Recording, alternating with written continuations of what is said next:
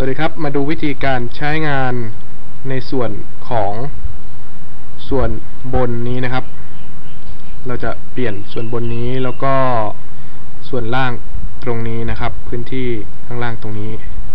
ก็คือพื้นที่ส่วนบนนี้นะครับ แล้วก็ล่างตัวนี้ จะแสดงทุกหน้านะครับ ถ้าเราเปิดไปนะครับ ช่องค้นหานะก็แสดงเหมือนกันครับ แสดงอันนี้ก็แสดงนะครับ แสดงทุกหน้าครับ ส่วนบนนี้ ก็มาดูนะครับ ก็มาดูอ่า ตามลิงก์นี้นะครับ คลิกเข้าไป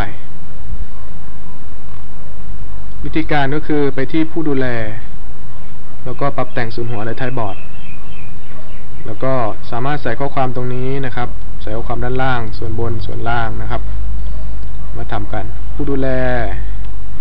ปรับแต่งส่วนหัวและท้ายบอร์ด มาแล้วครับ ก็ลองเปลี่ยนดูนะครับหนึ่งสองสามนะครับสี่ห้าหกอ่า ง่ายๆนะครับ เซฟ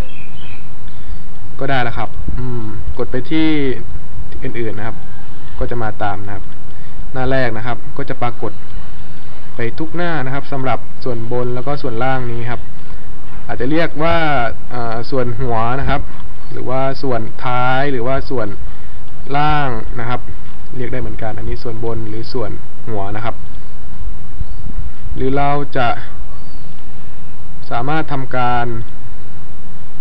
เอ่อ copy นะครับ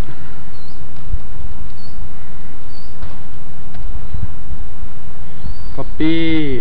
รูปภาพนะครับ นี่ลากกลุ่มนะครับ copy เนื้อหานะครับ แล้วก็มาวาง มาวางนะครับ ได้เหมือนกันนะครับ ได้ทั้งส่วนบนแล้วก็ส่วนล่างนะครับ มันก็จะแสดงออกมาเหมือน Word ครับ เหมือนใช้งานเหมือน MS Microsoft Word นะครับนี่ได้เหมือนกัน อาจจะจัดให้สวยงามนะครับ เพราะว่าการที่เราก๊อปมานี่อาจจะไม่สมบูรณ์เท่าไหร่นะครับ ก็จัดนี่ครับกึ่งกลางนะครับนี่ลากกลุ่มให้หมดปุ๊บกึ่งกลางนะครับ เซฟนะครับ เรียบร้อย สวยงามมากนะครับนี่ส่วนบนนะครับ สามารถใส่ทั้งโค้ด